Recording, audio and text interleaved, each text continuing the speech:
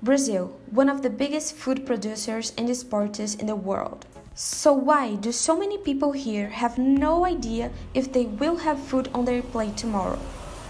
That's why here in the state of Alagoas, Horto works by SDGs 1, 8 and 12 to bring income and opportunities to a vulnerable community that needs our help to eat in a dignified way.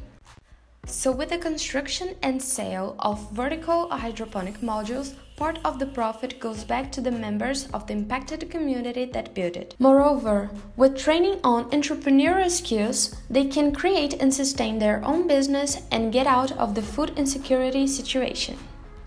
Also, the module makes growing plants something simple, practical, pleasurable, and sustainable, so the final consumer have the benefits of a new food alternative too.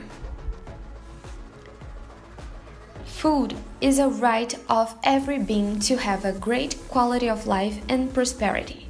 That's why, for us, for them, and for you, we are Horto.